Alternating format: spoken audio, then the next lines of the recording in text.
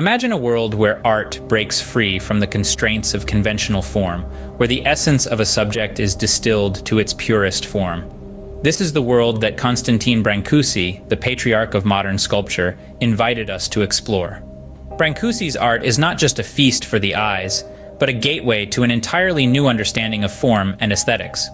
Born in Romania in 1876, Brancusi's early works were heavily influenced by folkloric and traditional local art.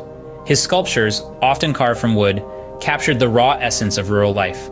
Among these, his series of kissing gates and endless columns stand as a testament to his origins and the deep connection he felt to his homeland.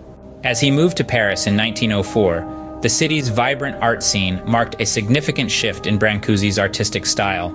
He began to experiment with abstract forms, seeking to strip away the unnecessary and reveal the essential. His series of Birds in Space, created between 1916 and 1940, exemplify this approach. The pieces are not detailed replicas of birds, but rather abstract explorations of flight and freedom. Brancusi's later works continued to push the boundaries of abstraction, his masterpiece, The Newborn, is a perfect example of this.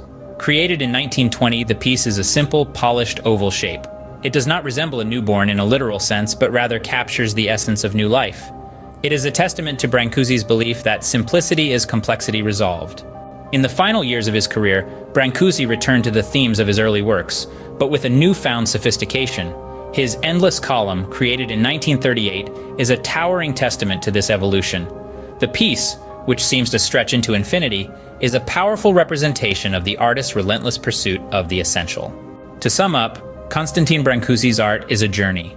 It starts from the raw, folkloric sculptures of his early days in Romania, travels through the abstract explorations of his time in Paris, and culminates in the sophisticated simplicity of his later works.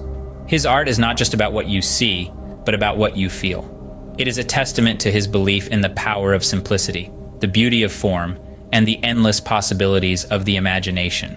Brancusi once said, What is real is not the appearance, but the idea, the essence of things.